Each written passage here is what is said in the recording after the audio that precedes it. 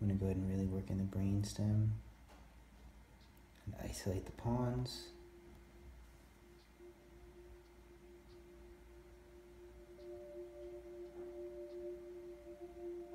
Beautiful. Beautiful.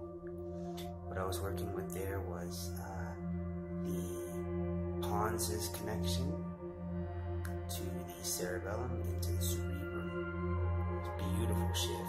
So I really want to go into the pons and increase how the pons, increase the efficiency of how it's relaying information to the cerebrum and to the uh, brainstem. So essentially this is neuromodulation.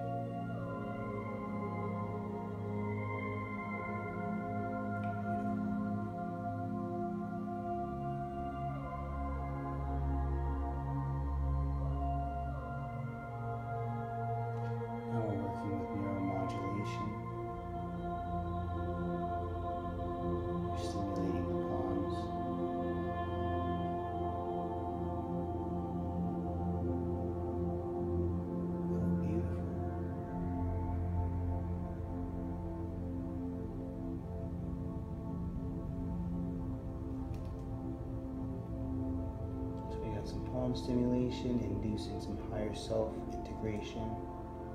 Perfect. Increasing the communication of the electrochemical signaling.